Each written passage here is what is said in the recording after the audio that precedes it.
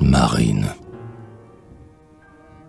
Au fond d'un lointain souvenir, je revois, comme dans un rêve, entre deux rocs, sur une grève, une langue de mer bleuir.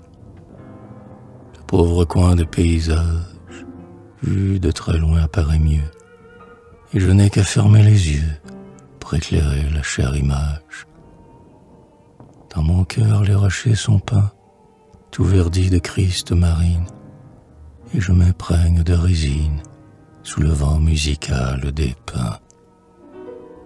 L'œillet sauvage, fleur du sable, exhale son parfum poivré, et je me sens comme enivré d'une ivresse indéfinissable. De longs groupes de saules verts, à l'éveil des brises salées, mêlent aux dunes éboulées leur feuillage blanc à l'envers. Je revois comme dans un rêve, au fond d'un lointain souvenir, une langue de mer bleuir entre deux rocs sur une grève.